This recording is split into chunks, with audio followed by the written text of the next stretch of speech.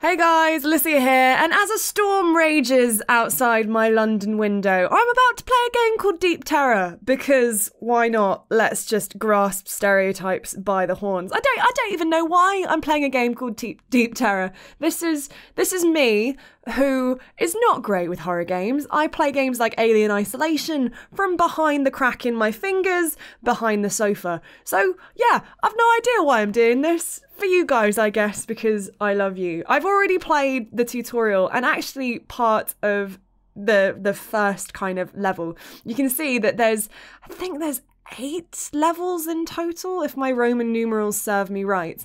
And it's a game based off H.P. Lovecraft's old horror stories he wrote way back in the 1920s. I think this particular one is based off a story called Call of Cthulhu. I think that's pronouncing it right, written in 1928. So every time I complete a level, a pentagram is created for each stage that I complete. And I'll explain more why that's happening in a minute. First, though, the puzzle mechanics. So, you can see here we've got a load of nodes, and each node has a different amount of kind of dashes on it that what it's worth, sorry, a numer- numerical value. Speak, Alysia, use your words.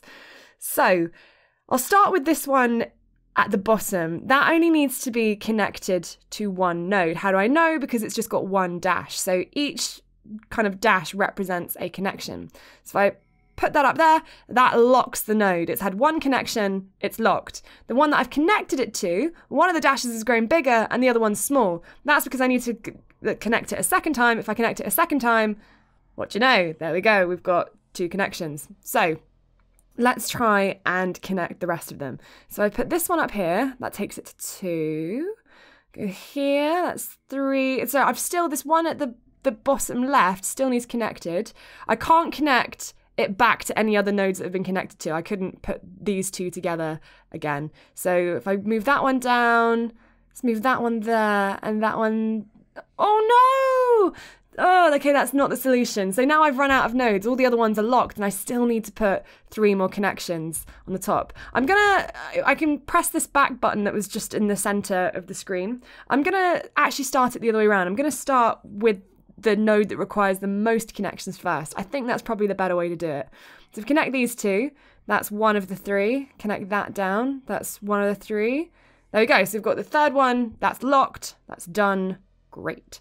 This one still needs another. So if we ping that one there, and if we, oh, that one needs a three as well. Maybe like this? Yeah! Awesome! So what I've done here is I've drawn a rune. Why am I drawing the rune, you may ask? And I'd say that's a great question. The idea behind this game, as you can probably tell from the really eerie chanting happening in the background, we're trying to connect these nodes, make these runes to raise the gigantic entity that's known as Cthulhu. If you've read H.P. Lovecraft, you'll know that he's a kind of, I mean, his anatomy is a bit mental. He's described as part octopus, part man and part dragon. I kind of like, I, I feel like that's such an odd mix. His conception would have made for some seriously niche viewing on the dark porn web pub internet thing.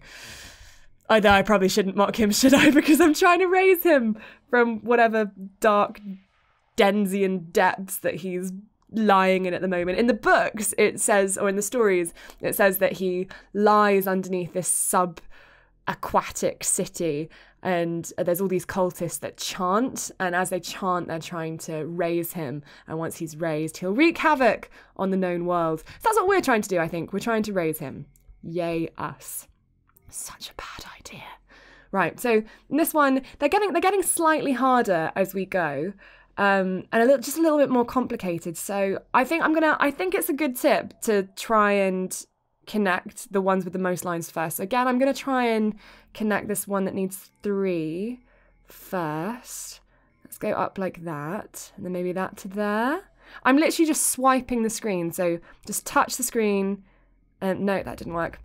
Just um, dragging my finger between the nodes, that creates a line. I think, was that right? I feel like that was right, this bit here, because now this node setup is sorted. Then maybe this one to here. And then like that. Yes, that was right. And it's kind of nice because in some of them, there does seem to be multiple ways to solve the puzzles, which is nice. We've had a few games recently that are puzzle games where you're very much locked into the the the kind of the way that the developer has decided that the game should be solved and that's quite frustrating because sometimes you actually work out a solution that should work and the game's like nah that's not the cube we want you to jump through and you're like damn it but i like the idea behind this game i like the idea that you have your phone or your tablet or whatever you're playing this on turns into a kind of incantation book, very cabins in the woods style. That you know, in movies you'd be like, "Don't stop it! Stop chanting! Put down your phone! Stop it! Back away!" But in this idea, yeah, you're oh, and okay, so we've we've come to the end of that particular level, and we have Chthonian the Sand Demon. Looks like this is this is the particular Denzian that we've raised. So I think we're raising all of Cthulhu's little minions, and then ultimately with the main idea of of the final devil, him being raised. Flowing tentacles and pulpy grey black, elongated sack of a body. Well, that doesn't sound healthy. You need to go to the gym, my friend. All right, and on that note, this is Deep Terror. It's a minimalist puzzler, like I said, inspired by H.P. Lovecraft's horror stories. It is out on iOS for free right now, and it seems to have no ads either, so it's pretty nice. It's quite a streamlined free to play game, not particularly invasive. Um, if you want to check it out, let me know in the comment section below what you think of it, how far you got. Have you read H.P. Lovecraft before? And I will see you guys on the next video. I'm going to go breathe through a paper bag now.